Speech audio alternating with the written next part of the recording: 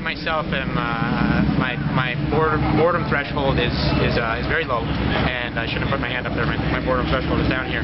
Um, so that's I think that's that's one thing, and uh, we've developed a, a, a culture in in America where uh, fiction is and, and poetry are a, a protected space, right?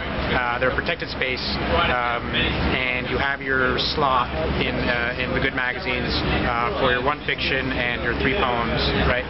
Um, they don't really have to compete uh, with the other stuff in the magazine because they are, uh, you know, they've been given their space, right?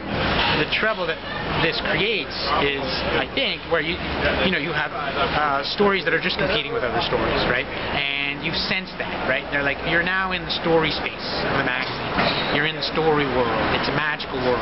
The fiction that we like uh, is doesn't have these walls around it, and is, is uh, at least we're trying. The fiction that we want to publish is going to be um, in contact with the world in a slightly different way. The fiction that's published in Harper's and The New Yorker, would it get published in N plus one?